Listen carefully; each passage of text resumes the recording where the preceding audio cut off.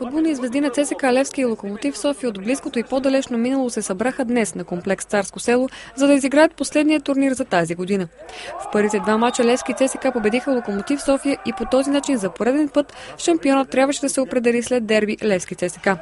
Сините волни от Даниел Боримиров и бившият национален селекционер Станимир Стоилов се наложиха с 3 на 2.